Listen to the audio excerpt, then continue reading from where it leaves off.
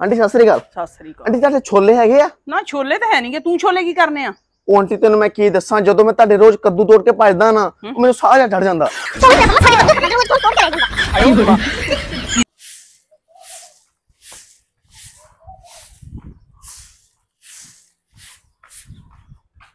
ਐਵੇਂ ਤੂੰ ਕਿੱਥੇ ਗਿਆ ਸੀ? ਉਹ ਮੈਂ ਜਿੱਥੇ ਮਰਜ਼ੀ ਜਾਵਾਂ ਤੈਨੂੰ ਕੀ? ਚਪੇੜ ਮਾਰ ਕੇ ਮੂੰਹ ਕੱਢ ਦੂੰ? ਹਾਂ ਮੰਮੀ ਉਹ ਤਾਂ ਕੱਲ ਦਾ ਨਹੀਂ ਆਉਂਦਾ ਮਾਰੀ ਮਾਰੀ ਚ ਫੇਰ।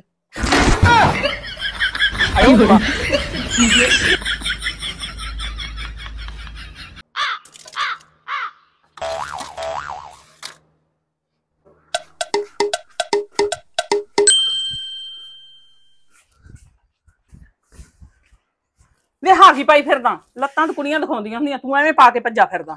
ਤੇ ਜੇ ਕੁੜੀਆਂ ਲੱਤਾਂ ਦਿਖਾ ਸਕਦੀਆਂ ਤਾਂ ਮੈਂ ਕਿਉਂ ਨਹੀਂ? ਲੱਤਾਂ ਦਿਖਾਉਣੀਆਂ ਦਿਖਾਈ ਜਾ ਆ ਮਨ ਮਨ ਵਾਲ ਤੇ ਕੱਟ ਲੈਂਦਾ।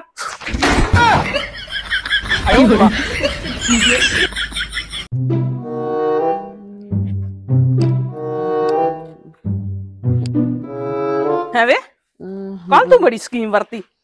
ਐਂ ਆ ਫਿਰ ਦਿਮਾਗ ਤੇ ਮਿਰਚ ਕੁੱਤੇ ਵਾਲਾ। ਤਾਂ ਹੀ ਮੈਂ ਕਹਾਂ ਬੰਦਾ ਤਾਂ ਨਹੀਂ ਇਹੋ ਜਿਹਾ ਕੰਮ ਕਰਦਾ, ਕੁੱਤਾ ਬੰਦਾ ਹੀ ਇਹੋ ਜਿਹਾ ਕੰਮ ਕਰ ਸਕਦਾ।